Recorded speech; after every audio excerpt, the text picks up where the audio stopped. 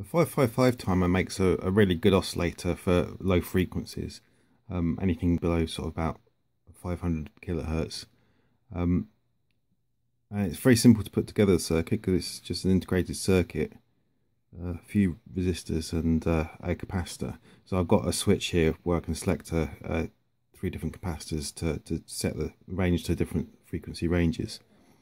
And the top resistor, which is used to charge and discharge, I've set a quite a low value uh, because as it's used uh, in the charging and discharging process, the lower the value, the less it will affect the mark space ratio. So I want to try and keep the mark space ratio as a, a reasonably um, similar sort of time uh, to, to make a nice uh, uniform square wave. Uh, and then the second uh, resistor, which I've got as a variable resistor and a, a standard uh, resistor as well and I've selected the standard resistor. It's been the same value as the the other resistor so I can get um, down to so, so, that this never becomes a short uh, if I've got the potentiometer all the way to, to one end. And the potentiometer allows me to change the frequency. Uh, so this is like a frequency adjustment and then a range selection down here.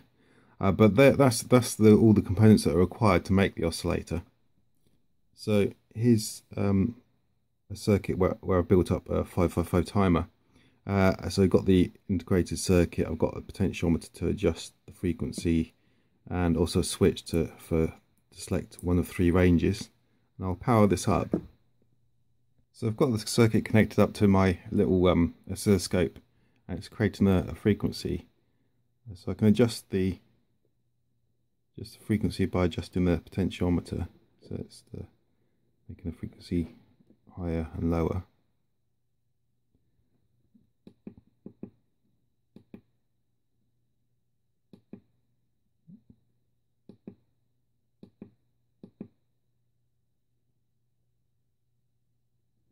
And I'll change the range.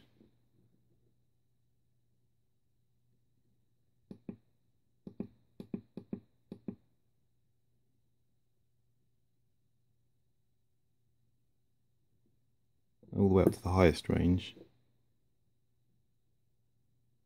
It, it keeps a good square wave. Uh, it distorts slightly at the top top range, but that some of that could be the sampling rate of the oscilloscope. So I'm pushing the oscilloscope right now to the top top range, uh, and it starts to distort a fair amount at the very top. So that's the very top range that I've got selected, and that's five uh, 85 kilohertz.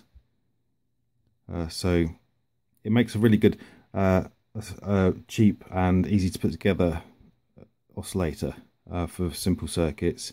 Uh, it's kind of low range still at frequencies, but I'll take a look into higher range oscillators in later videos.